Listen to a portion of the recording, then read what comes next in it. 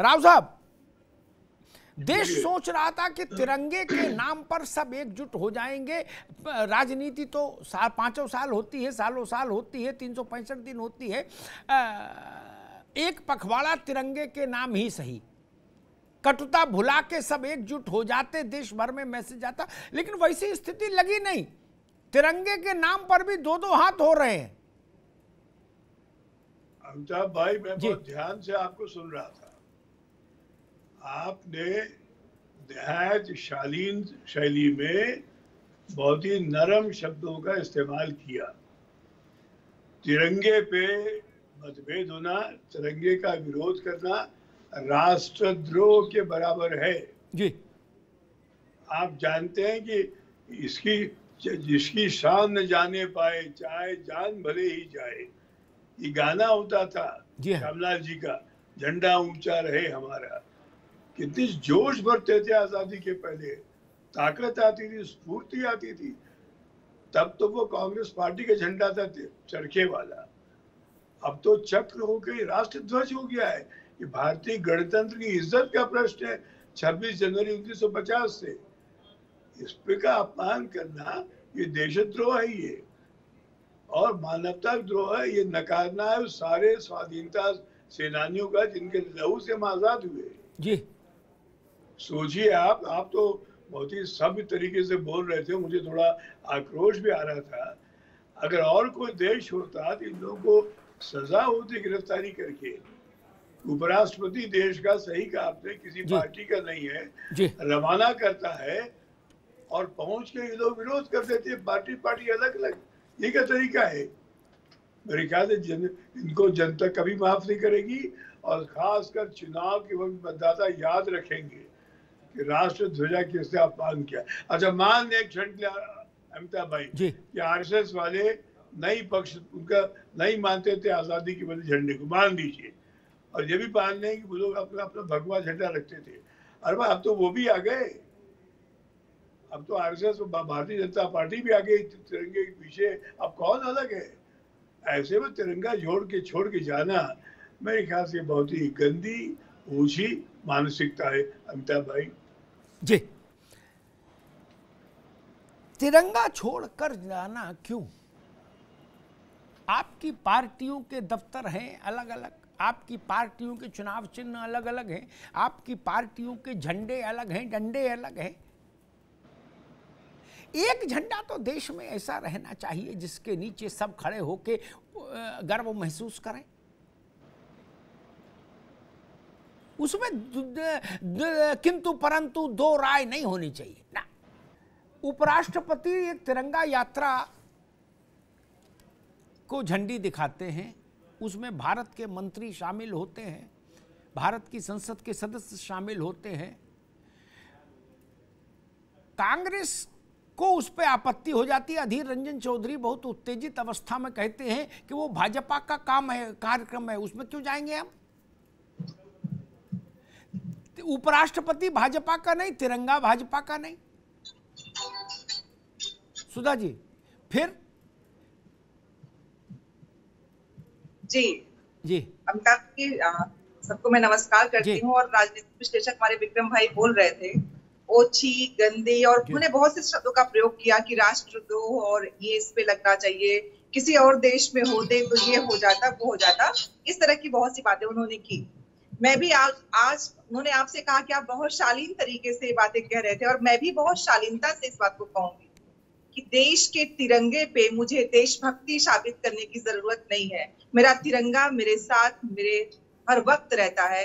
मैं जब से पैदा हुई हूँ, स्कूल गई हूँ, तब से मैंने तिरंगे को फहराया है और तिरंगा आकर मैं अपने आज डीपी पे, मैं लगा रखा है, सुबह से मैं डीपी सबके लगा हुआ है बस अंतर क्या है कि हम उस आज़ादी के अमृत महोत्सव में जिसने हमें आज़ादी दिलवाने में अपना सब कुछ न्यौछावर कर दिया था, उसके साथ लगाया है।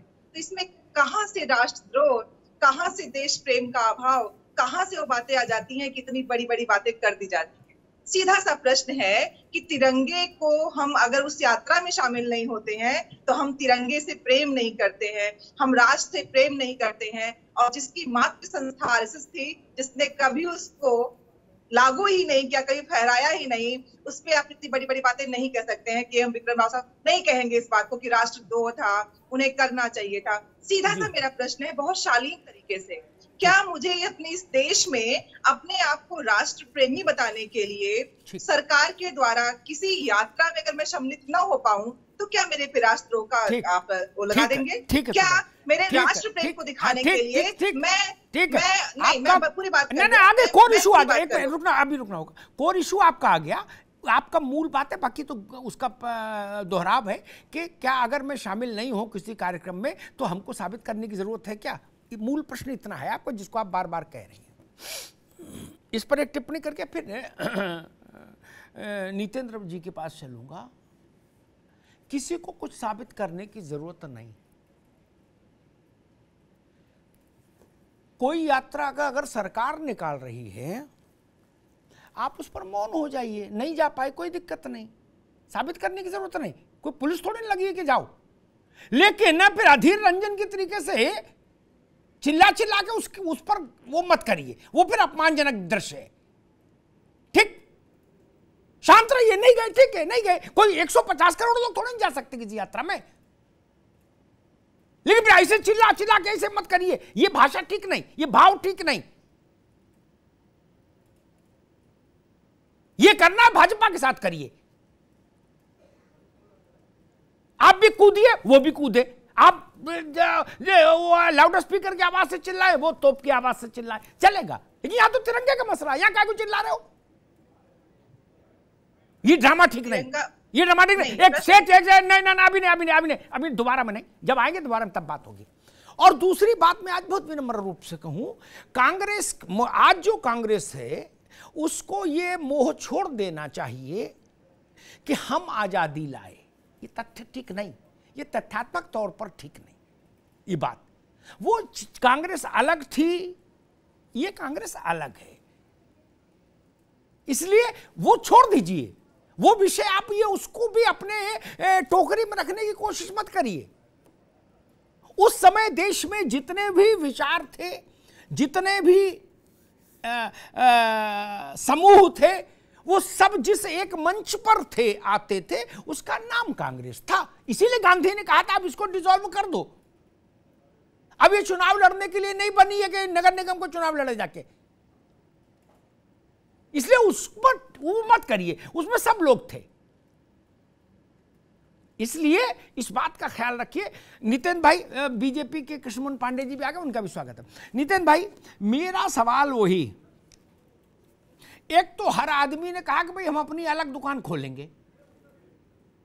मेरा मानना था, तिरंगे पर तेरह से पंद्रह जो राष्ट्रीय कार्यक्रम था, ठीक, उसमें ही सब लोग अपनी ऊर्जा लगाते तो कोई बुरी बात नहीं थी। किसी ने कहा हम चार को करेंगे, इसलिए कि भाई तेरह से पंद्रह तारीख मैच नहीं होनी चाहिए। आपने कहा हम नौ से करेंगे। क्या जताना चाहते हैं? मतलब इसके पीछे सेंस क्या है? हम वो समझना चाह रहे हैं। अगर तेरह से पंद्रह ही पूरा देश मना था समाजवादी पार्टी भी बहुजन समाज भी केजरीवाल जी की पार्टी भी तो समस्या क्या आती? समस्या कहीं है भी नहीं अभी। ये हर आदमी की आइडियोलॉजी उससे मिल खानी चाहिए। हमारी जो तर्क है कि जो 9 अगस्त अंग्रेज़ों भारत छोड़ो का नारा 1942 में महात्मा गांधी के नेतृत्व में दिया गया था जी। वो पखवाड़ा हमने उस तारीख से लिया है। हम 9 अगस्त से अंग्रेज़ों भारत छोड़ो का जो नारा दिया गया था उस तारीख से लेकर के और आज़ादी के अमृत महोत्सव को मनाने के लिए हम लोग 15 अगस्त तक इस कार्यक्रम को करेंगे। उसमें तेरह तारीख भी होगी उसमें चौदह तारीख भी होगी उसमें पंद्रह तारीख भी होगी। हम ऐसा तो है नहीं कि हम नौ तारीख के बाद तेरह तारीख को अपना कार्यक्रम बंद कर देंगे। ये तिरंगा लगातार फहराता रहेगा। इसमें प्रश्नवाचक चिन्ह क्यों? और ये बात बार बार मेरा ये प्रश्न आ रहा है कि इसमें भारतीय जनता पार्टी आखिर क्या जताना चाहती है कि हम स्कूल के हेडमास्टर हो गए जो मेरा फतवा आ जाए उसी को उपदेश मान ले।